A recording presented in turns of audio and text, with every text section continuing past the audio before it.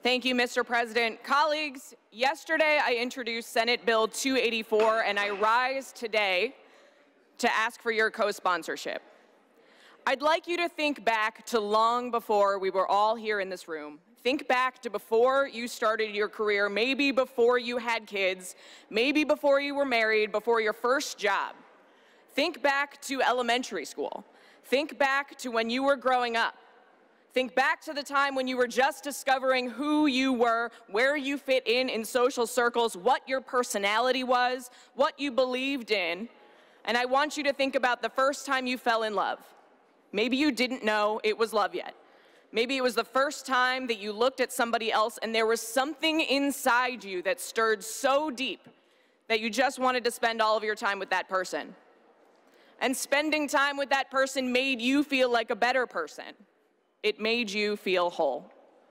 Think of the joy and think of how that impacted who you are today. Now, imagining yourself at that age, think about somebody telling you that you are wrong, that your feelings are wrong, and that you are broken.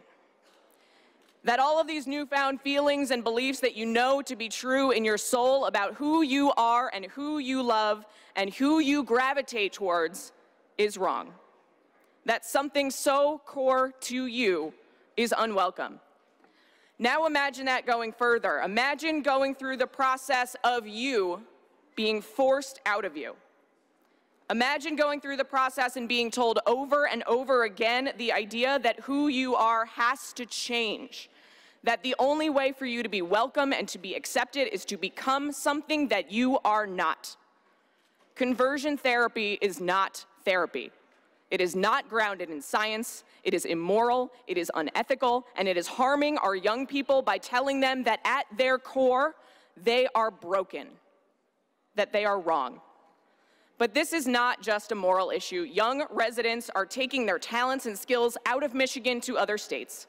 And millennials often cite demand for communities that are welcoming and open-minded. 16 states have already banned conversion therapy including New Jersey, where Republican Governor Chris Christie signed a ban into law in 2013, and Washington State, where Democratic Governor Jay Inslee signed in 2018.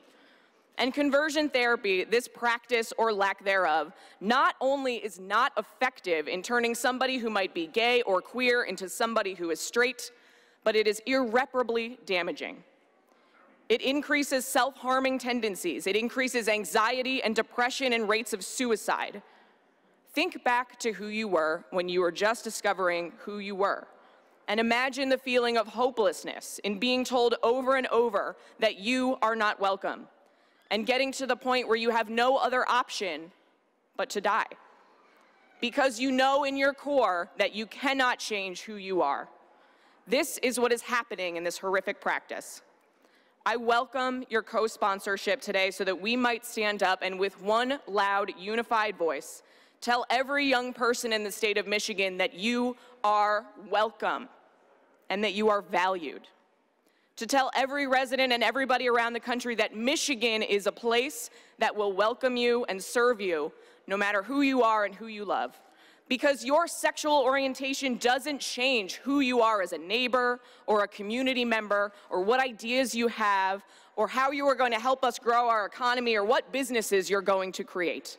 Let's send one loud and clear message that you are welcome in Michigan and that Michigan will not tolerate anybody forcibly trying to change you into something that you are not.